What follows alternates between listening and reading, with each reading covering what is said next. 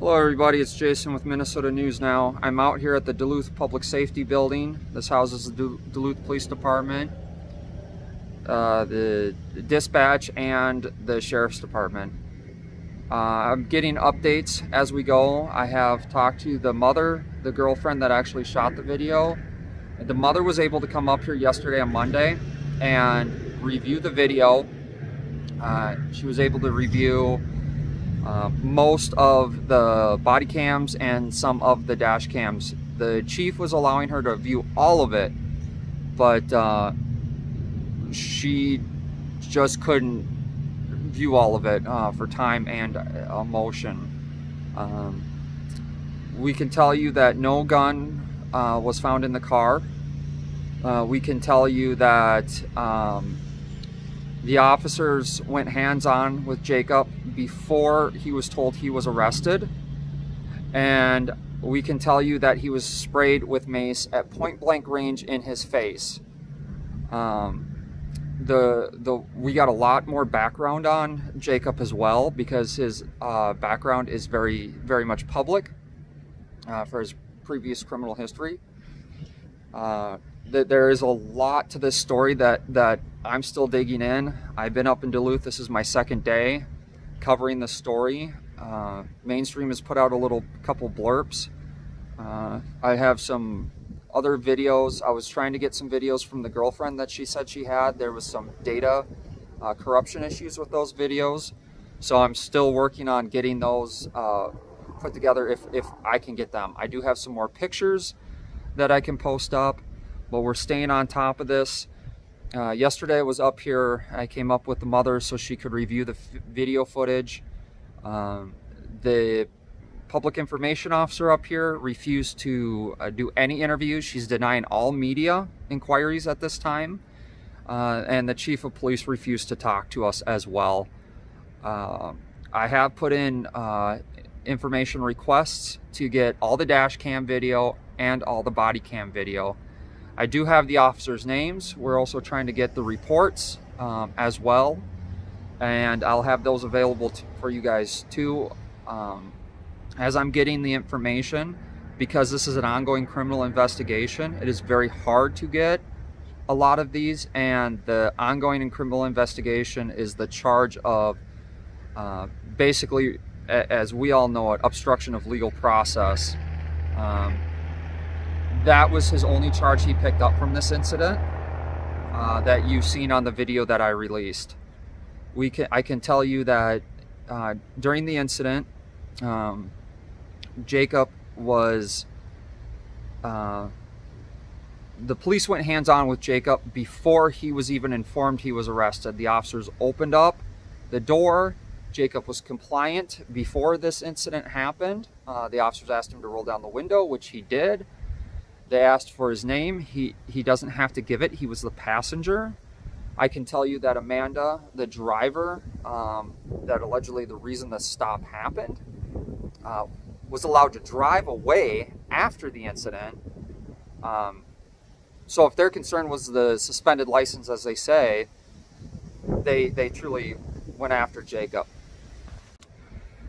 So the other thing I can add to this too is with the statement from his mom after she reviewed the footage that she reviewed, uh, we can tell you that as he was complying, the door was opened and the officers went hands-on with Jacob before they told him he was arrested. Um, the, the officers went hands-on pushing him down before they told him he was arrested. And then after he started to struggle a little bit because he was seat belted in the car, he was never given the opportunity to surrender to the arrest or comply before they went hands on. He was, um, again, seat belted in the car when he was pushed over. The other officers got on the other side, were trying to pull him out of the car and use the, the, the pain compliance holds along with the hands uh, on the neck. The mother did inform me that she did see two knees go on the back of Jacob's neck, one from one officer here and one from one officer here. Not behind the shoulder blades. Um, there also was um, the other officer pulling him from the other side and there was also the seatbelt restraining him in the car. So even if he complied with the officers from the driver's side, the officers the officers from the passenger side were trying to pull him out that way. So he was literally being pulled in two different directions and in the car restrained by the seatbelt. In the photo, um, in the beginning of my other video, you can see the red marks on his um, side. Those are from the seatbelt cutting into him while they're pulling him both ways out of the car. I'm going to stay on this story. We're not letting it go. And we're going to get, I'll give you updates. Also, uh, Know Your Rights in the North has also been uh, out here with us, uh, with me filming.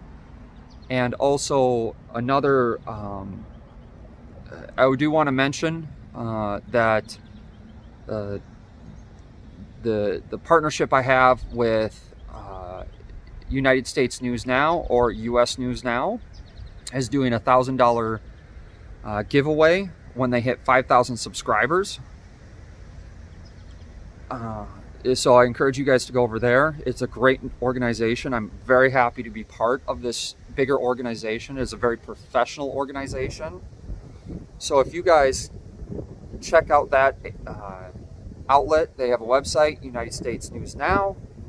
I'll leave some links. Check out their uh, their um, YouTube page as well we're we're growing, we're expanding, and we're bringing you guys the news, uh, First Amendment audits, uh, police interaction. It's growing. We're still in the groundwork of this, but we need your help too, so we can keep doing this. Please stay tuned. Watch for the updates. We're doing our best. Leave comments if you have questions. I will try and answer all of those in upcoming videos versus responding to each comment. I will do my best, but it has been uh, extremely busy day yesterday and today uh, it's going to be a pretty busy day too. We're staying on top of it. We're not letting it go. Please like, share, and subscribe. It's very important for us to get, get the information out there. And again, if you guys have any questions, definitely leave comments so I can answer those in future videos. Again, don't forget to check out United States News Now, US News Now on YouTube. Links will be in the description below. Thank you. Thank you for tuning in. Thank you for your guys' support. I know this is a little bit different, but I try to cover everything that's going on here in Minnesota. I have been going over to Wisconsin. Let me know if there's something, any information you guys have. We'll, we'll try our best to get into it, tear into it, make sure we get all the facts. Thank you again. Minnesota News Now out.